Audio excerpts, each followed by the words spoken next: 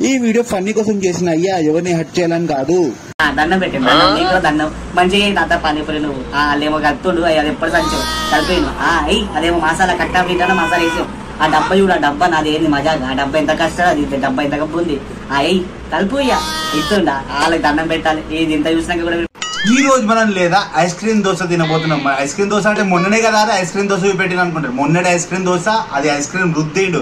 కానీ ఈ తమ్ముడు లేదా ఏం చేస్తుంది తెలుసా? ఆ దోశని కోన్ లెక్క తయారేసి ఐస్ క్రీమ్ పెట్టి మనకి ఇస్తుండు మరి. ఈ ఐస్ మీరు మీ జీవితంలో ఎన్నో పానీపూరి తిన్నారు. కానీ ఫస్ట్ టైం ఎగ్ పానీపూరి. చూడండి ఈ అన్నయ్య చెప్తుండు ఎగ్ లెక్కల మధ్యలో నీలం తీసేసి టమాటా సాల్ట్ పోసి ఎగ్ పానీపూరి అట. ఇంకా ఇదేంటిది? మళ్ళీ మలై పాల మలై పోతుండాల. ఆ పొయ్యి.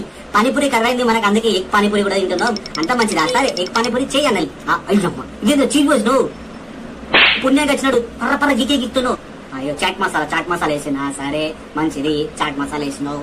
ఇంకా కొత్తిమీర కొత్తిమీర చల్లిండు మన ఎగ్ పానీపూరి లాగా కింద టమాటా సాస్ పోసి మీద ఎగ్ ఇది కొత్తిమీర చల్లిండు